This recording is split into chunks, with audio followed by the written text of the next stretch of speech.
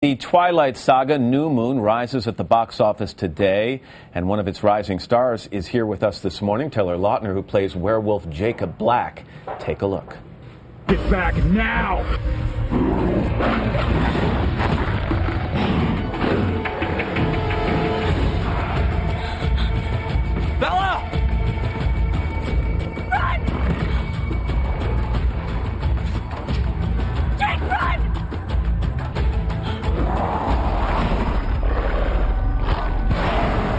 Hey, Taylor, welcome. Nice to see you. Nice to see you, I was going to start by asking about the character and the changes from movie one to two, but that seems ridiculous. Why don't we talk about what just happened, okay? Um, because you're 17, right? Yes. And, and you are experiencing this kind of Beatles like popularity at a very young age. What's it like to go through what you just went through out in our crowd?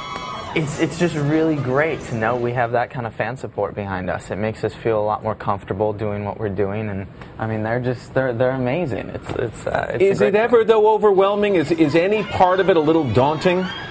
Sometimes, mainly just because none of us expected this. When we were filming Twilight, we thought we were making a movie for some fans to enjoy, something we were passionate about, but we didn't expect anything close to this. And, and so life has changed how? How would you complete that sentence in terms of how you go about living your daily life amidst all this popularity? You definitely have to make adjustments, but you can't let it get to you too much. I mean, the busiest thing that's changed my life is my schedule.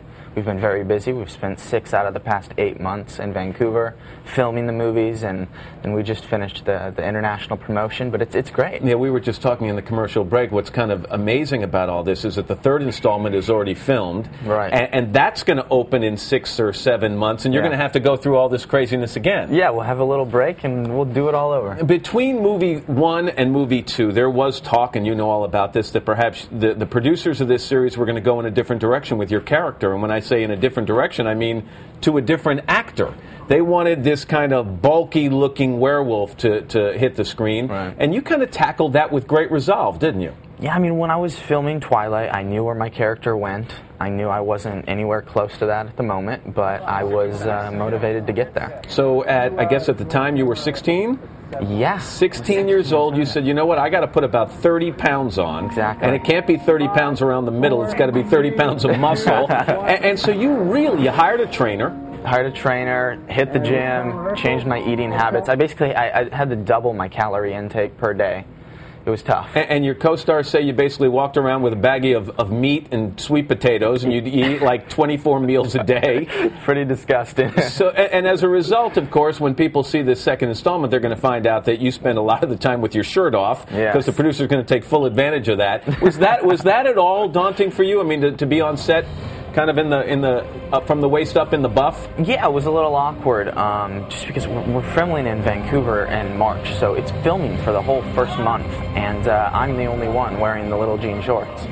yeah, yeah, that's a good way to put it. Now, is this weight, by the way, still on you, or or is this going to be permanent, or are you going to fluctuate wildly like a lot of actors do? M- most of it, uh, it just it all depends on the role and what I have coming up next. If it, if if a role requires me to lose 40 pounds, then here we go. I'm ready. So you're in this for the long haul. Definitely. No question about it. You're, you're loving the acting side of these things. Absolutely. How are you going to stay grounded? Uh, you know, again, I say 17 years old, and, and a lot is happening for you at a very young age. Do you do you have talks about this with family, with friends, about how you don't let this get the best of you? Because we've all heard stories of how it does get the best of some people. Right. Yeah, definitely. Uh, I think it's just a matter of staying true to yourself. And I mean, spending time with the people you love, spending time with the people you did before, your family and your friends. And Can you accomplish that? I mean, that's an interesting point. Can you still hang out with the same people you hung out with before you ever started doing these movies? Definitely. Maybe not as much just because of our schedule, but uh, absolutely. And I mean, I'm having the time of my life. I'm doing what I love to do, so I'm very thankful. So friends keep you grounded. Definitely. All right, so one of those friends, and I'm going to say friend, All right. okay, is another Taylor. All right, I watched Saturday Night Live, the tape of it the other day, and Did in the ya? open, Taylor Swift comes out and she mouths a, you know, hello to Taylor. And I don't think she was talking to herself. You don't? No, I think she was talking to you. And so, so tell me, how, tell me, tell me how that's going. She's, by the way, lovely. We've had her on the show a number of times. Really? Yeah. she, she's great. She's a great girl. Um, and I was definitely blushing when that happened. Yeah, you didn't expect it? no, it, No? Was, it was a surprise. Well, it's great. How, how are you handling all the paparazzi and the, and the tabloid side of this? It's different. It is really, um, but it's so important just to keep that outside and far away as possible, and maintain focused on the work. Well, and you got a lot more work coming. You don't know when you're going to shoot the fourth one, right? Not quite sure. Nothing's confirmed yet. And is there a role out there? I mean, as you look down the road, that you say, "God, I'd love to." No, no vampire pun intended here. Right. But sink my teeth into something like that.